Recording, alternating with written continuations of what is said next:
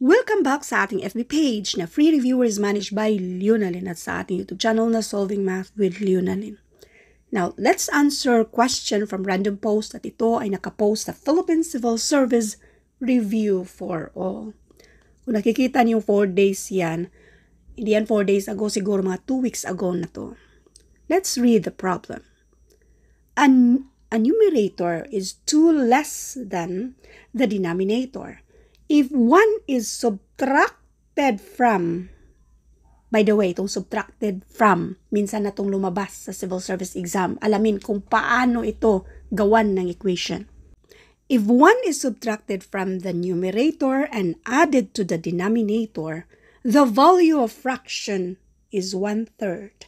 Find the original fraction. Marami na tayong kahalintulad nito sa mismong YouTube channel natin na Solving Math with Leonalyn. Paano ba ito gawan ng equation? Yan yung kadalasang problema sa karamihan. Meron tayong numerator. Let n para sa numerator natin. Meron tayong denominator. Ang numerator daw is, equal sign yan siya.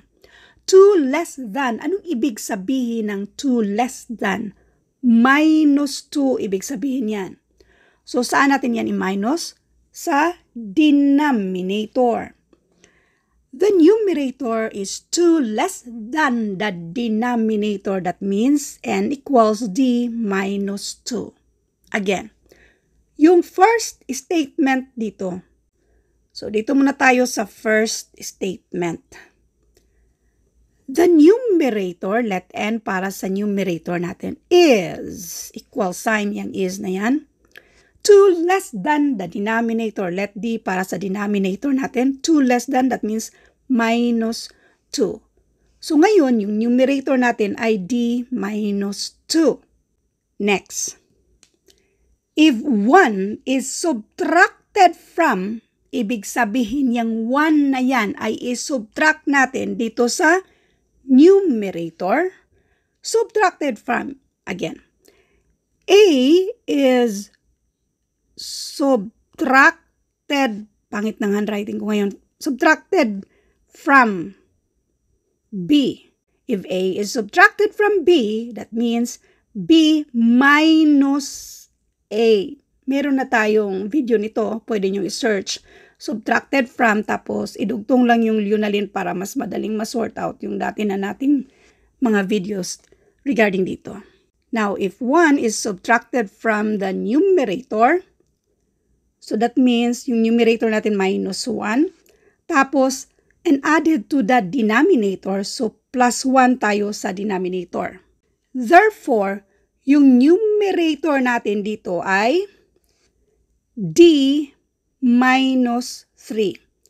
Kasi, minaminus natin dito sa minus 2. Bali, may utang kang dalawa, uutang ka pa ng isa.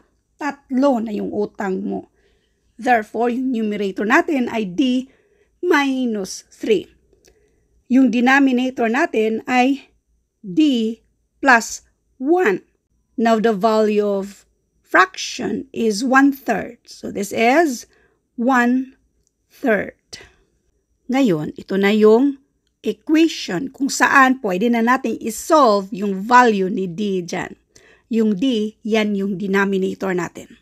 So ngayon, mag-cross multiply tayo. 3 times D, this is 3D. 3 times negative 3, this is negative 9.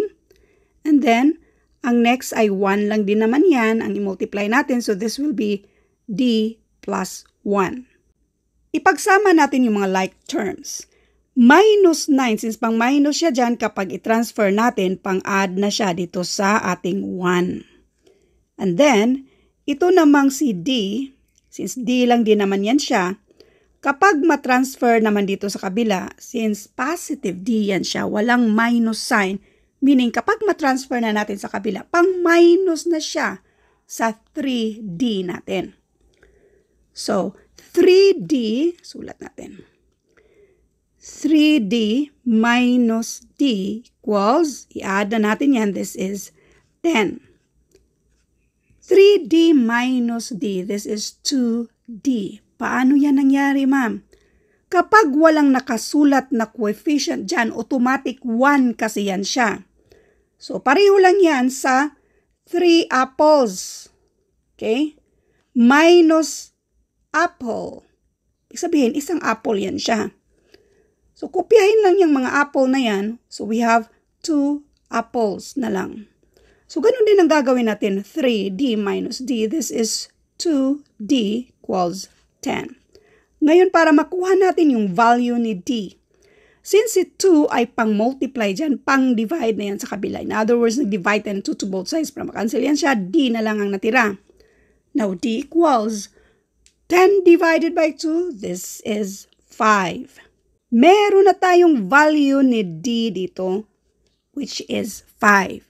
So, yung denominator natin ay, wait, yung denominator natin dito ay 5. Now, yung numerator, yung original, the numerator is 2 less than the denominator. Meaning, this is d minus 2. So, d, ang value ni d natin ay 5. So, 5 minus 2 equals 3. Therefore, yung numerator natin ay 3, yung denominator natin ay 5. 3 fifth. Nasaan yan? Choice letter D. Ngayon, dito tayo sa shortcut. As in, shortcut, solution number 2.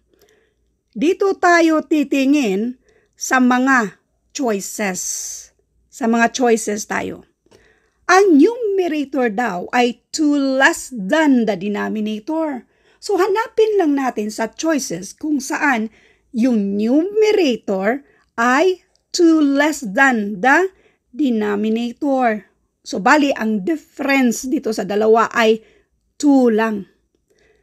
Sa choice letter A, ang difference dito ay 1. Sa choice letter B, ang difference dito ay 5.